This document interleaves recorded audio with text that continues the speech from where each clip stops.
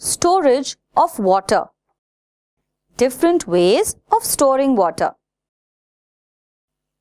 All living things need water and so did man. Early man needed fresh water too. Those early people had to store water as well. How did they store water? They had pretty good ideas.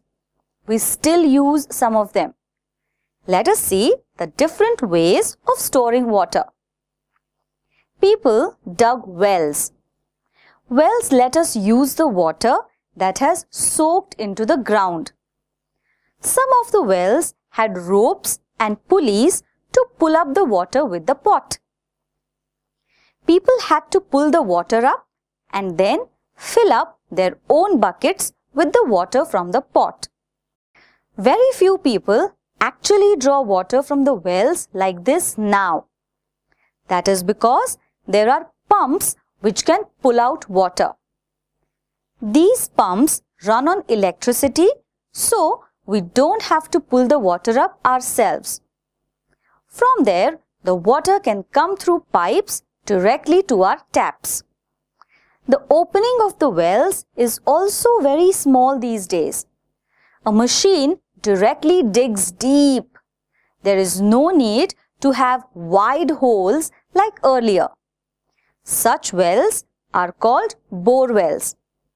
Another way of storing water is through tanks. A tank is just like a huge swimming pool. There are lots of tanks on old forts. No one could live on the fort without water and carrying water all the way would be impossible. So, a fort absolutely had to have water tanks. In fact, forts had wells too. People early on also realized that they could build a wall across a river. That would stop the water from flowing away. The small walls were called bunds. Small lakes would form behind the bunds. Now we build really big walls called dams. The lake that gets formed behind the dam is called a reservoir.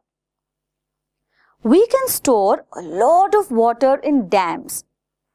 Farms can get water all year long. Factories can use this water too.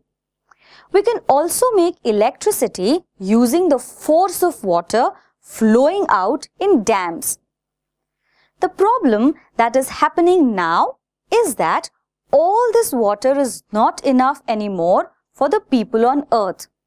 We need more water. We need to use the water we have carefully. Water is life. We must never forget that. No water, no life.